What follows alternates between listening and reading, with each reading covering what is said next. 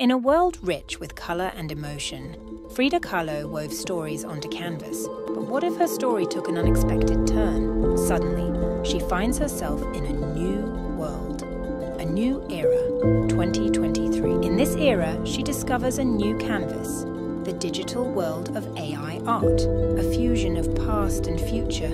As Frida explores art, she delves into the voices of modern women, echoing struggles. In this new world, Frida questions Who am I really? Even in a connected world, the echo of isolation. Nature's resilience mirrors the human spirit, ever flourishing, ever evolving. Two eras, distinct yet connected through the universal language of art.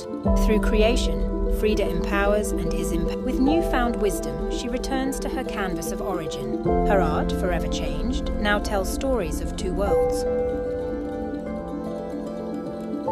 You are what you consume.